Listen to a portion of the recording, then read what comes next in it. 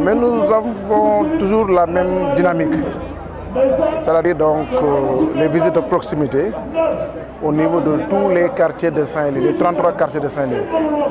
Aujourd'hui, nous sommes revenus donc au niveau du, quartier sud et comme nous venons de démarrer, hein, euh, donc en allant rendre visite aux, différents chefs religieux, euh, continuant ainsi donc à peut-être aller voir les, notabilités pour solliciter des prières.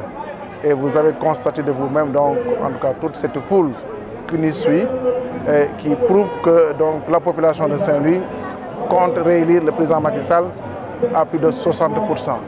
Euh, dans le sud, je suis avec Laroumar, qui est le représentant donc de, de, du professeur Gadio. Hein, Gadio.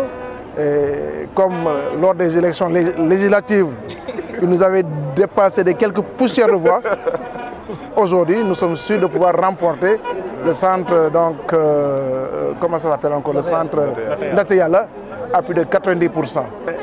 Ils ignorent tout ce qui se passe dans ce pays-là, c'est ça la réalité. L'histoire de la brèche, je pense, a été évoquée depuis longtemps.